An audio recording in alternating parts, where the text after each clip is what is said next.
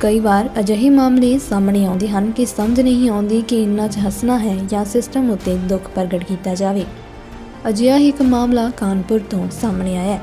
ਇੱਥੋਂ ਦੇ ਚੌਬੇਪੁਰ ਇਲਾਕਾ ਪੰਚਾਇਤ ਦਫ਼ਤਰ ਦੇ ਵਿੱਚ ਇੱਕ ਬੱਕਰੀ ਭਜਾ ਭਜਾ ਕੇ ਮੁਲਾਜ਼ਮਾਂ ਨੂੰ ਪਰੇਸ਼ਾਨ ਕੀਤਾ। ਬੱਕਰੀ ਵਿਕਾਸ ਕਾਰਜਾਂ ਦੀ ਫਾਈਲ ਲੈ ਕੇ ਭੱਜ ਗਈ ਅਤੇ ਕਰਮਚਾਰੀ ਵੀ ਉਸ ਦੇ ਪਿੱਛੇ ਭੱਜਣ ਲੱਗੇ।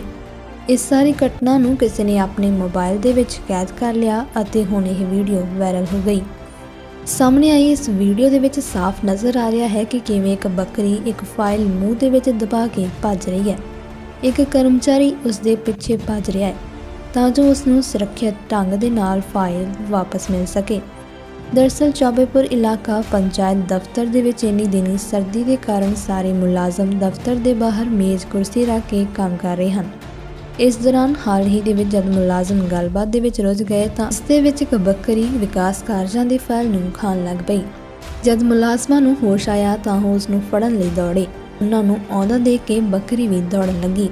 ਬਹੁਤ ਮੁਸ਼ਕਲ ਤੋਂ ਬਾਅਦ ਫਾਈਲ ਤਾਂ ਮਿਲ ਗਈ, ਪਰ ਉਦੋਂ ਤੱਕ ਅੱਧੀ ਅਧੂਰੀ ਫਾਈਲ ਹੀ ਰਹਿ ਗਈ ਸੀ। ਮੁਲਾਜ਼ਮ ਮੁਕੇਸ਼ ਦੀ ਬੱਕਰੀ ਦੇ ਪਿੱਛੇ ਭੱਜਣ ਦੀ ਵੀਡੀਓ ਹੁਣ ਸੋਸ਼ਲ ਮੀਡੀਆ ਤੇ ਹਾਸੇ ਦਾ ਕਾਰਨ ਬਣ ਗਈ ਹੈ। ਲੋਕ ਨਾ ਸਿਰਫ ਇਸ ਵੀਡੀਓ ਨੂੰ ਦੇਖ ਕੇ ਆਨੰਦ ਲੈ ਰਹੇ ਹਨ ਸਗੋਂ ਮੁਲਾਜ਼ਮਾਂ ਦੇ ਕੰਮਕਾਜ ਉੱਤੇ ਵੀ ਚਰਚਾ ਕਰ ਰਹੇ ਹਨ।